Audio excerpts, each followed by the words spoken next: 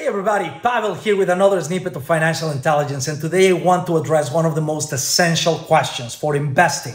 We'll focus on the stock market this time and the question is should you buy that asset? Should you buy that stock? Are you getting a good deal? How do you determine whether you're getting a good price for that company at that point in time?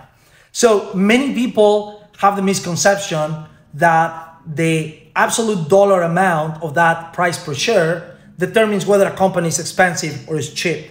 And, and that is very, very incomplete and basically useless, right? And there can be a company, say their price is $100 per share, and there is another company that is only $10 per share, much cheaper. But that doesn't tell you anything because you need to compare those two companies. You need to understand at the very least what is their market cap, which is market capitalization, the total cost of all the shares outstanding by the price per share, and that gives you the market cap, the price of the company, right?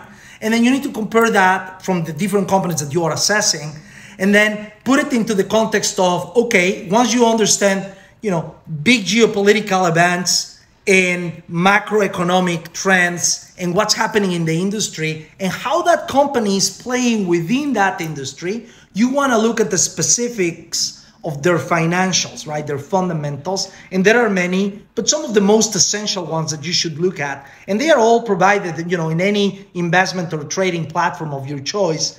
All of that is there. You just need to learn how to look at those numbers and make sense of them so that you don't get misled by a low dollar amount that doesn't really mean anything. You need to understand based on the market cap of that company then you need to look at the revenue of the company. How much are they selling? And how much have they been selling over time? So are the revenues, are their sales going up or down? You need to understand that. And then look at another very essential indicator, which is their net income, right? Is the company profitable and how profitable is it? And how profitable is it as a relation to their market cap, which is the price. And here is where you get to a ratio known as the price to earnings ratio.